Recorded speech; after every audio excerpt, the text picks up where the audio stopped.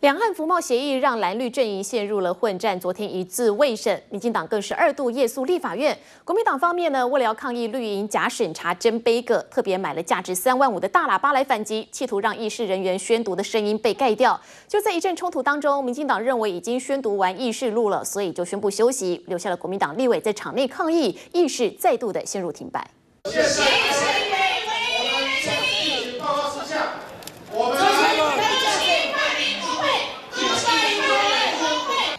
主议事人员宣读议事录，九点一到，国民党大党边林鸿池拿着书面提案，奋力往前挤。不过，民进党团早排成人墙，全力阻挡。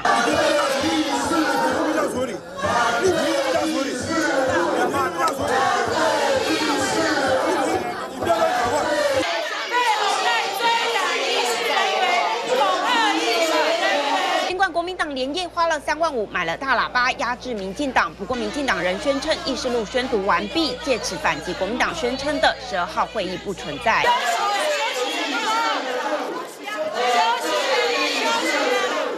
认为目的已达成，无需再防守，与国民党正面冲突。民进党团全面撤手，让出主席台，独留国民党团场内抗议。开会前无法转交给主席，开会的时候。